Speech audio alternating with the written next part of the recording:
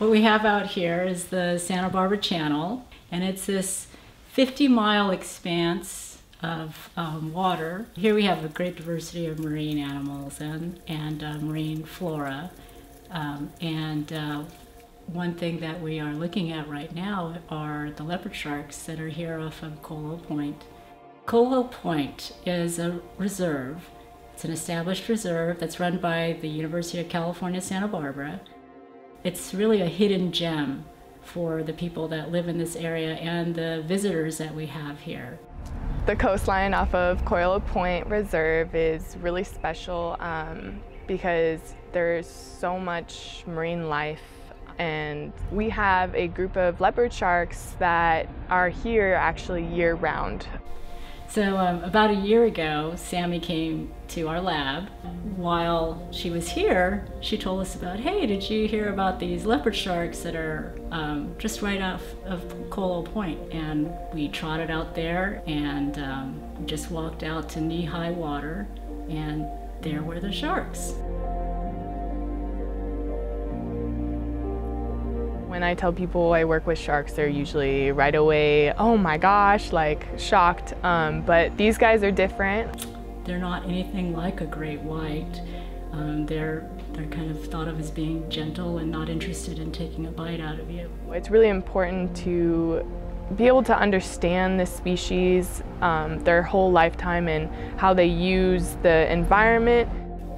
So we are wondering, what are they doing out there? How many of them are there out there? Um, when are they out there? Are they there all year?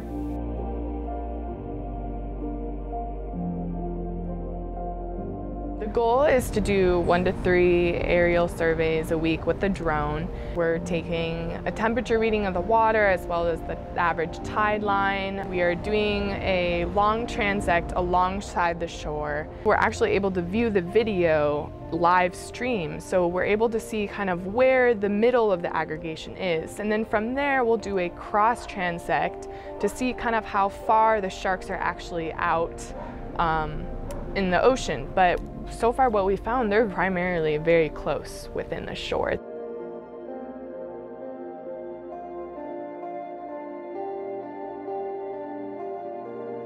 Within these videos, um, we are able to analyze the presence of where the sharks are along the coastline by Devereux and we're able to get a size reference. We're able to compare them to other days and how their their movement and their aggregation patterns are different. The numbers, the presence, the actual location of each shark we're able to um, get through different apps that we have correlated within the drone. It'd be really difficult and it would be almost not even feasible to to run these aggregation uh, studies and these transects, and so just the the drone world opens opens that up.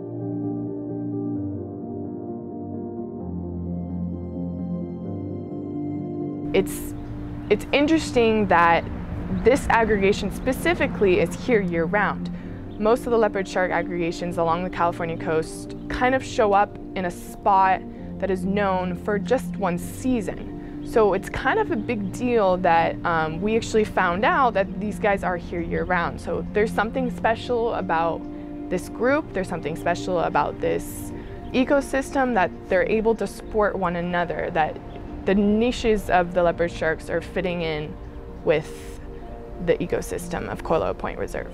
Um, leopard sharks, they share our urban beaches. And um, so where people are, where they're playing, where they're working, um, in the water and along the shoreline. Um, this is where we find these sharks. And so the question is, um, why is it important to learn about leopard sharks and their habits and their behaviors? It's important to gather as much information as we can on a larger scale because um, Previously, there was no reported information about these leopard sharks, and that's why I kind of jumped right into it because adding any information adds value to understanding the, how the whole ecosystem works.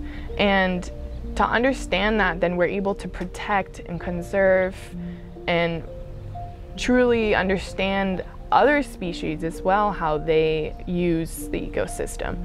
So, in a grander scale of things, if we understand the behavior and the lifelong structure of this aggregation, it will be an indicator if the reserve is healthy or not.